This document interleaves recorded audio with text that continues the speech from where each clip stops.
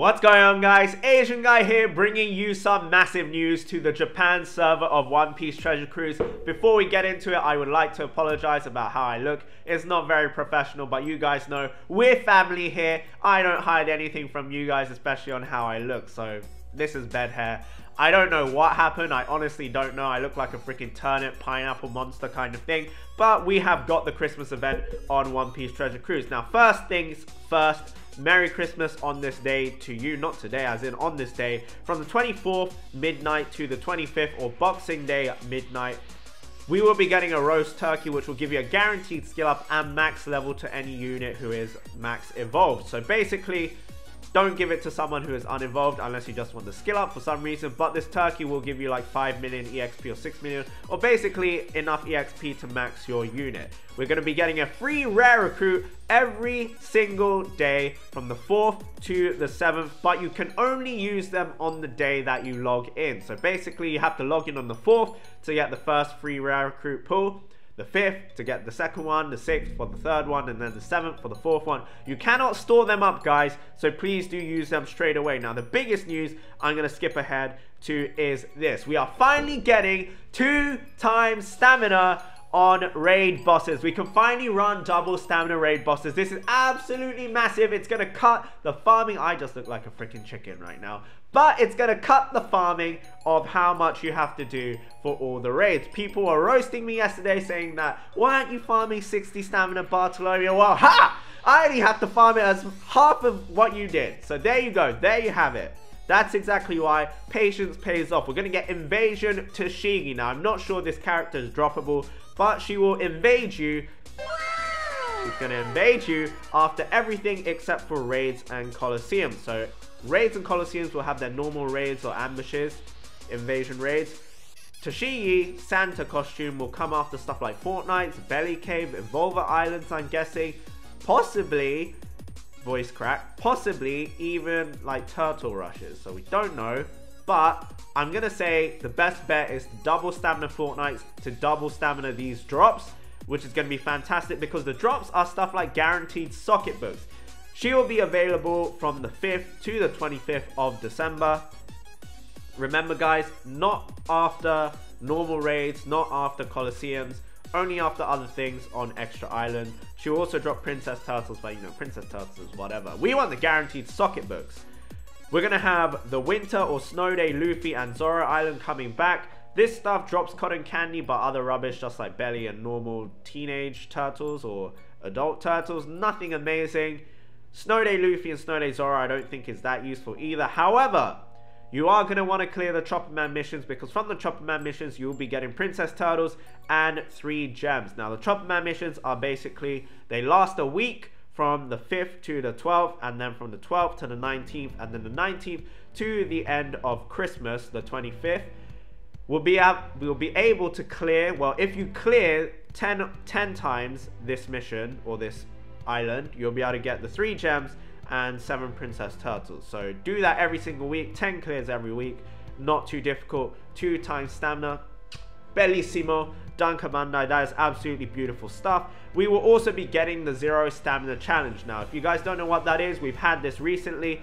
You get to challenge all of these raids as many times as you want. They'll be on zero stamina, but after you clear it, they will disappear. So basically, you can experiment with whatever team you want as many times as you want on clearing these raids. It's very nice for content creators, although myself, I'm very lazy, so I'm just going to clear it the first time round. Get that free copy. And all of these raids will be available from this time period as well. We're going to have Raid Bartolomeo, Raid Boa Hancock, Raid Sabo, Raid Kuzan or Raid Aokiji, Raid Zephyr, and Raid Vergo. Now, myself personally, I really want Vergo, and the good thing is these are all going to be on two times stamina as well.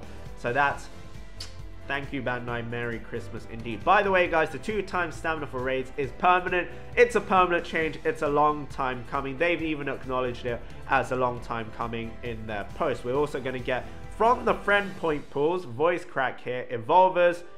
It's okay, you know, friend point pools, evolvers. I would have preferred rare recruits, but that's getting a little bit too greedy. Maybe next Christmas we're going to be getting the Tenryubito Belly Cavern. Now, some people think that this is going to be useless if you don't have much belly It's going to be very useful. But even for myself, I'm probably going to farm this because 20 million belly, as you guys can see in the top left, I look like an absolute chicken right now.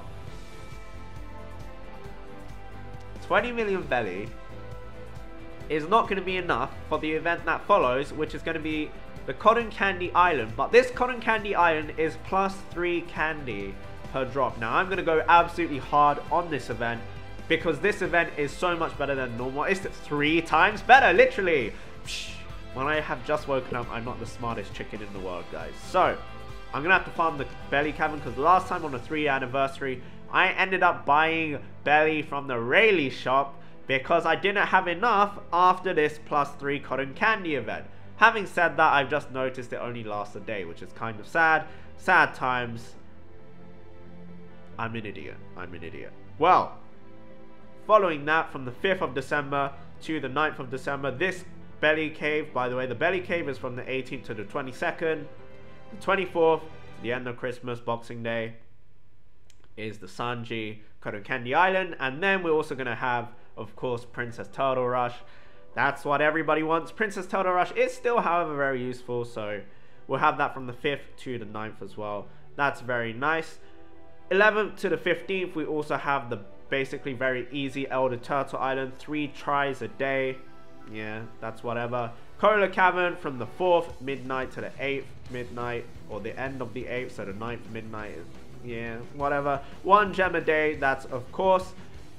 14th, event number 14.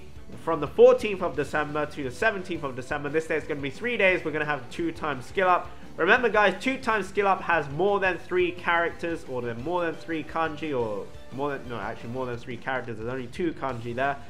But super success has three. So basically three letters that you can see means super success. If you see more than that, is two times skill up. So don't get them mixed up. The 14th to the 17th, Japan time, two times skill up. Then from the 7th to the 10th is super success. So don't confuse that. 21st to the 24th is also super success. And that is that, guys. That is the event. But before I forget, the Rayleigh shop has been updated. We have got guaranteed socket tomes in here, so do buy them if you do need them. 500 Rayleigh points each, very, very cheap for, for, guaranteed socket tomes. I myself have gone for cooldown, bind, despair, and auto healing. We've also got Wild Sanji in here as well, if I can find him. So Wild Sanji is actually a very, very useful unit. He reduces bind by 5 turns, and for 1 turn will lock the chain to 2.5 times. His sailor ability is also very good. He will start the quest with all meat orbs. So your entire team start with all meat orbs. He is a powerhouse slasher type, I believe. So he is a pretty good unit if you don't have him. I myself am not going to buy him. I think 10,000 Rayleigh points. I'm going to want to save that for ships and other future units. But he is a fantastic unit, guys. If you do buy him, you're not losing out on anything, honestly. But yeah, that is pretty much it, guys. Thank you very much for watching. Do not buy this plus 100 cotton candy. It is a trap. And have a wonderful, wonderful day. Goodbye from this Asian pineapple chicken bedhead, man. Bye-bye.